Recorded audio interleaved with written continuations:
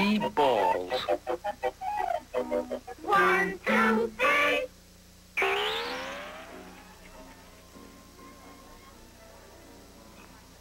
Three peas? One, two, three. Three crocodiles? One, two, three. Three eggs. One, two, three. Three little pigs?